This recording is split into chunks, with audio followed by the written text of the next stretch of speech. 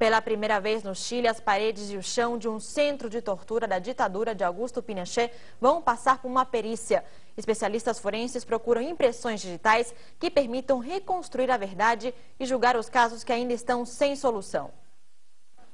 Pedras. Era o que viam os prisioneiros por baixo das vendas que cobriam seus olhos ao entrar no quartel Yucatán, ex-centro de tortura da ditadura de Augusto Pinochet. Mais de duas mil pessoas passaram por aqui entre 1973 e 1974. Foram torturadas, executadas ou desaparecidas. Hoje é Londres 38, um centro de memória. Pela primeira vez no país, especialistas forenses inspecionam os muros e pisos da casa para encontrar impressões digitais e outras marcas relacionadas com a repressão começaram em outubro, com este banheiro, utilizado pelos prisioneiros daquela época. Que nos vai permitir mirar eh, quais são Vai nos permitir ver quais são os elementos por trás das camadas de tinta. Nós analisamos vários testemunhos de sobreviventes e sabemos que alguns viram escritos da época quando a casa era sede do Partido Socialista. Alguns viram escritos da época em que a casa eh, funcionou como sede do Partido Socialista. Sangue, cabelos, rabiscos e inscrições são alguns dos rastros que podem ajudar a reconstruir a história deste lugar, que foi sede do Partido Socialista até a intervenção militar. Bueno, uma das expectativas é poder eh,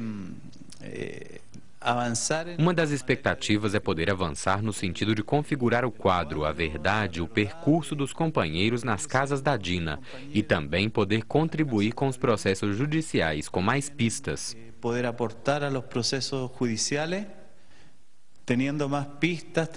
A experiência do Instituto Espaço para a Memória da Argentina, que utilizou este método em centros de tortura de Buenos Aires, é uma grande ajuda no processo. As descobertas serão complementadas com testemunhos dos sobreviventes deste lugar. Se espera que podamos encontrar huellas Esperamos poder encontrar impressões culturais e digitais orgânicas que permitam agilizar os processos judiciais, mas também que a casa nos revele a história do que aconteceu ali. A ideia é que esse processo nos permita fazer a reconstrução de todas as intervenções da casa. Construção de todas as intervenções da casa. As perícias são possíveis porque Londres 38 é um dos poucos centros de tortura que permanece em condições semelhantes aos anos da ditadura militar e alimenta a esperança de encontrar marcas do horror vivido neste lugar. Beatriz Mitchell, Telesur, Chile. Telesur, Chile.